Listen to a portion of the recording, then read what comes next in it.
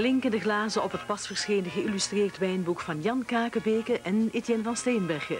Kwistig met wijntips, een handig boek voor elke wijnliefhebber. Kwistig met wijntips. 400 bladzijden nuttige informatie, adressen van Vlaamse wijnboeren in het buitenland, aanbevelingen bij uw wijnkeuze en welke wijn serveren bij welk gerecht. Kwistig met wijntips bij elke boekhandel en de BRT voor slechts 498 frank.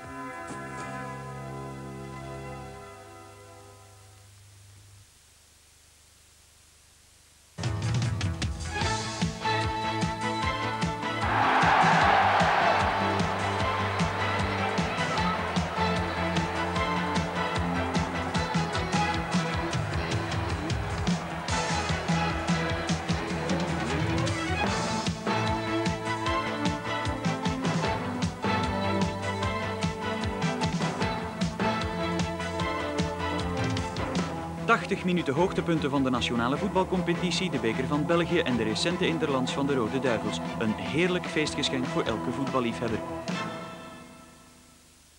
U kan deze cassette bestellen door overschrijving van 1995 frank op de rekening van de BRT.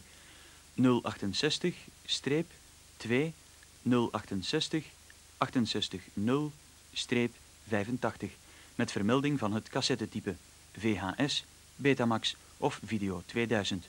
U kan ze ook bekomen in alle kantoren van het gemeentekrediet.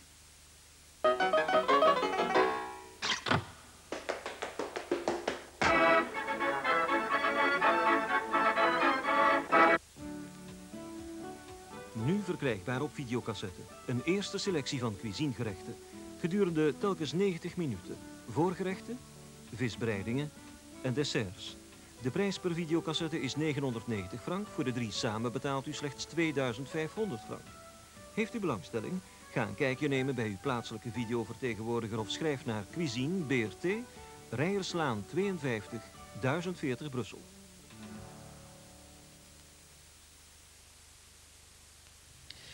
De wetenschappelijke actualiteit, dames en heren, kunt u dankzij de televisie van nu af gaan volgen vanaf vandaag op TV1. Dankzij het nieuwe wetenschappelijke programma Modem, dat eens om de 14 dagen op maandag op TV1 rond dit tijdstip wordt uitgezonden.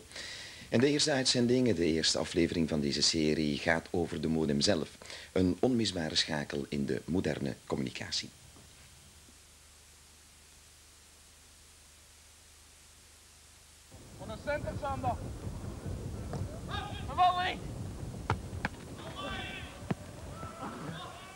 Voor de niet-Mechelaars en andere twijfelaars, dit zijn de spelers van KV Mechelen.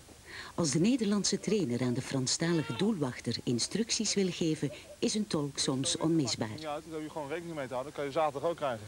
Ja. Begrijp je? Ja. Nee. On doit, on doit trainer ça parce que...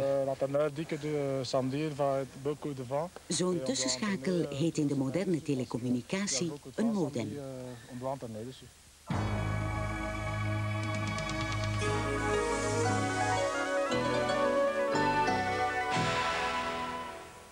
John Cordier is stichter en eigenaar van een Vlaams bedrijf dat modems maakt. Maar hij is ook voorzitter van KV Mechelen en handelsrechter.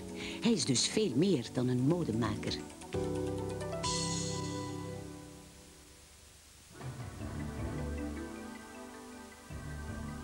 Onopvallend bijna is de modem in het dagdagelijkse leven binnengedrongen. Neem nu zo'n automatisch betaalsysteem. Hebt u zich ooit afgevraagd hoe de informatie over uw verrichting hier in uw bank terechtkomt? Een deel van het antwoord zit binnen in de betaalautomaat. Tussen allerlei andere elektronische toestanden zit een plaatje dat de onmisbare schakel is tussen de automaat en de bank, de modem. Alle informatie die nodig is om de verrichtingen correct te laten gebeuren, loopt via dit plaatje. De modem vertaalt de gegevens en op zo'n manier dat ze kunnen worden doorgestuurd. Ook in winkels en warenhuizen vindt men steeds meer betaalautomaten. Ook hier zijn modems de onmisbare schakels om van deze betaalwijze een betrouwbaar systeem te maken.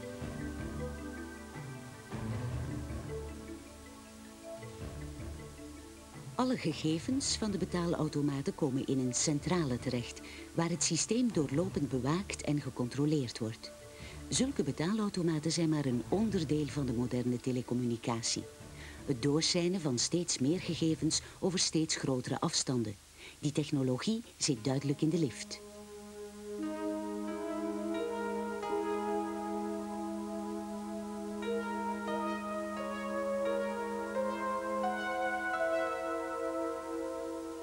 Weten wat er in de wereld gebeurt is een belangrijk element om te overleven. Vandaag wordt de informatiespreiding steeds omvangrijker en steeds sneller.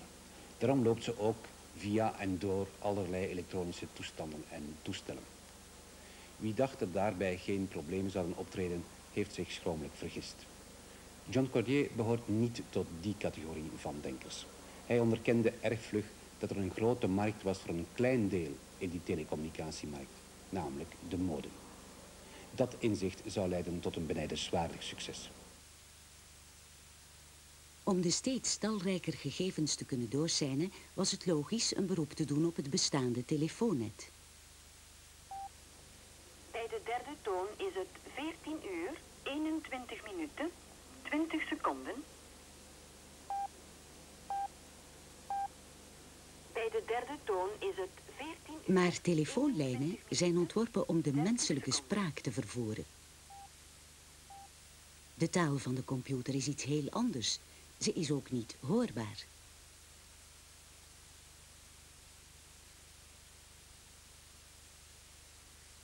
De modem giet de computertaal in een andere vorm. Ze is nu hoorbaar en kan over het telefoonnet worden gestuurd. Bovenaan is het vervormde computersignaal.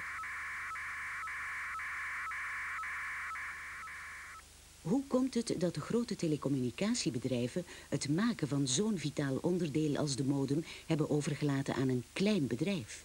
John Cordier. Uh, ik denk de grote telecommunicatiebedrijven van het ogenblik uh, daar een opportuniteit hebben gemist door niet in te pikken op die behoefte. Men dacht altijd dat het zou een voorbijgaand iets zijn en worden. Men voorspelt reeds uh, jaren aan een stuk de ondergang en het einde van de modem. Maar de modem is nog nooit zo talrijk aanwezig geweest rondom ons. En ik denk dat was dus een mogelijkheid voor kleine bedrijven. Dit is een elektronische postbode. Een getypte tekst gaat in de machine, wordt afgelezen, door de modem vertaald en over de telefoonlijnen gestuurd, om bij de bestemmeling opnieuw in zijn originele vorm te verschijnen. Voor de huiscomputer kan men gegevensbanken raadplegen die over de hele wereld verspreid zijn. Het toestel draait zelf het gewenste telefoonnummer. Het spel van vraag en antwoord kan nu via modem en telefoon verder verlopen.